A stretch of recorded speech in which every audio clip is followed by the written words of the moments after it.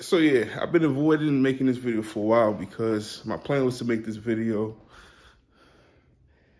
while I'm actually using it, but I guess I'm still kind of scared to get injured right now. So I still haven't returned to the gym. It's been like a month or two.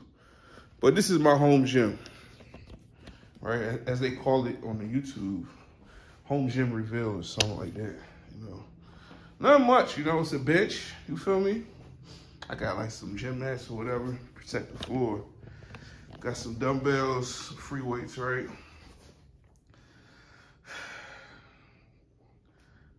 Got a barbell, curling bar. Got some weights too, you know. Got some 2.5s, some 5s, some 10s. What else I got? I know I got some 25s. Yeah. And uh, for my dumbbells, you know, I got 20, 35, 50. This bench is adjustable, it's movable, it's foldable.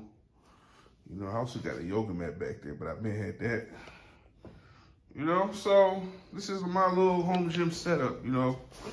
I like it. I enjoyed using it when I was using it. I was hitting it every day for like two weeks. I might have taken like a day or two break in there, but you know, it went well, you know.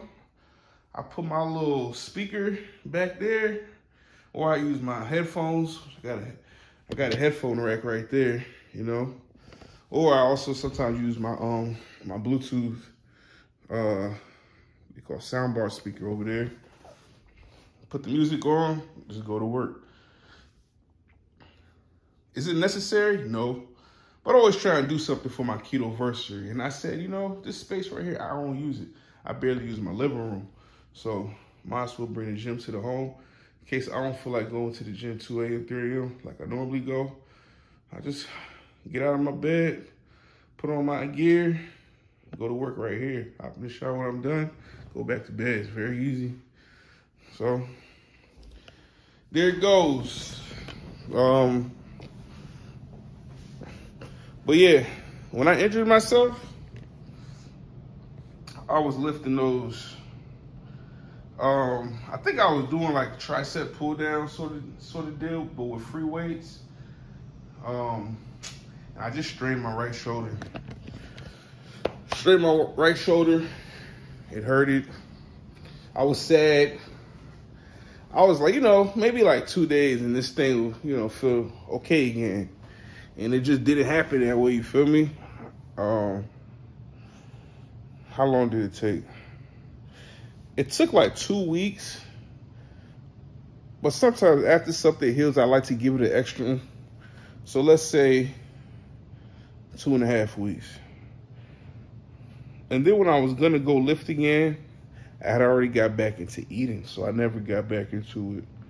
Because when I lift, I like to have a good eating, a good diet. I like my diet to be very consistent, planned out, so that I get max results from the lifting max growth. And I burn fat, build muscle, and lose weight at the same time.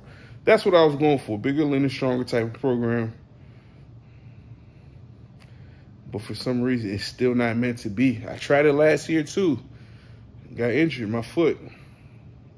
But I know ultimately this will be what I adapt. And if I have to if I have to work out through injuries, just like not utilizing that body part that's injured,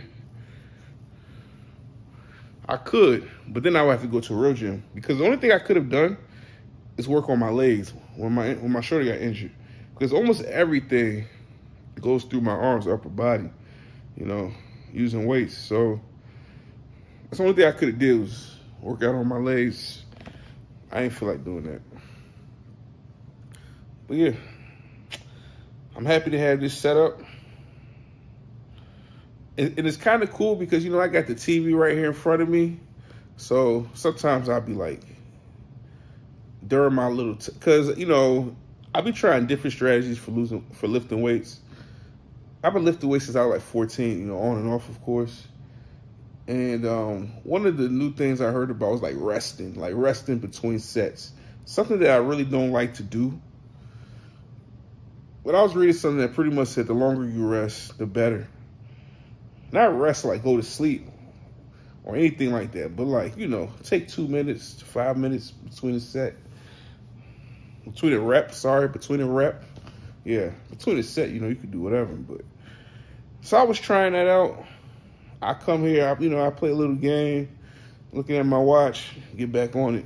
it's pretty cool, you know. One of the benefits of having a home gym, you pretty much do whatever you want, no judgment. and you know, I have a mirror that I could put like right back there, you know, standing mirror. It's always nice to look at yourself when you're lifting. So, I mean, I have one. I have two actually. And I could always move it when I'm done. So I might be doing something like that So, You know, I would say the space is pretty built out. It's pretty ready. I kind of like it the way it is because you see all these mats, I could take them out as you can see. You know, you can easily take those out. I could easily take all this out. I could fold this bench up, hide it if I wanted to, and make this look like a, a regular living room. Probably, of course, wouldn't touch that part, but the rest of it, yeah. But I've been thinking about it, like I could also remove this back furniture, you know, get rid of that, have a little bit more space to do a little bit more, put a little bit more stuff in here. But every man should be seen.